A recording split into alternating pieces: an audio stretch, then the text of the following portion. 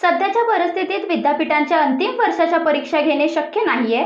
त्यामुळे विद्यार्थ्यांना कॉलेजमध्ये झालेल्या सेमिस्टर परीक्षांच्या आधारावर पास करण्यात येईल अशी घोषणा मुख्यमंत्री उद्धव ठाकरे यांनी फेसबुकच्या माध्यमातून जनतेशी संवाद साधताना केली आहे.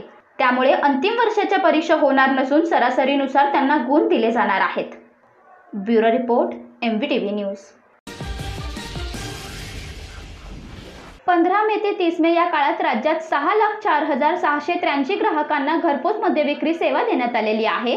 शनिवारी दिवसभरात बावन्न हजार सेहेचाळीस ग्राहकांना घरपोच मद्यविक्री सेवा देण्यात आली असून यांपैकी मुंबई शहर आणि मुंबई उपनगरात एकतीस हजार अठ्ठेचाळीस ग्राहकांना घरपोच मद्यविक्री सेवा देण्यात आलेली आहे. या मद्यविक्री सेवेतून राज्य सरकारला चांगलाच महसूल उपलब्ध झालेला आहे. Bureau report M V T V news. एकीकडे कोरोनाचे संकट असताना आता सामान्य ग्राहकांना महागाईचा झटका बसत आहे. घरगुती गॅस सिलेंडरच्या किमतीत आजपासून वाढ करण्यात आलेली आहे.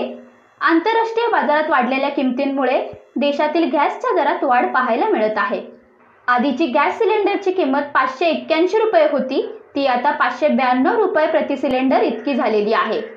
त्यामुळे ग्राहकांना याचा फटका नक्कीच बसणार आहे. Bureau report M B T V news.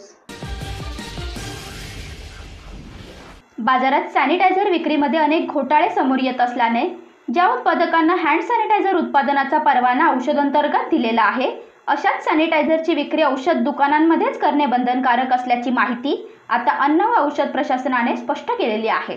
त्यामुळे सॅनिटायझरमध्ये होणारा काळा बाजार थांबवला जात आहे. Bureau report M V T V news.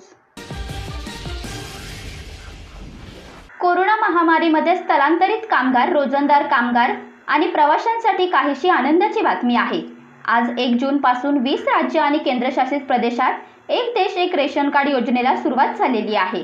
या योजनेनुसार पात्र लाभार्थ्यांना राष्ट्रीय अन्न सुरक्षा कायद्यानुसार देशातील कोणत्याही स्वस्त धान्य दुकानातून त्याच्याकडे असलेल्या रेशन कार्डचा वापर करून धान्य घेता येणार आहे.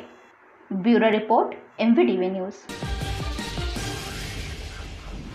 महाराष्ट्रात एक जूनपासून पेट्रोल आणि डिझेल महागणार आहे. इंधनावरील अधिभारात प्रति लिटर दोन रुपयाने वाढ करण्यात आलेली आहे.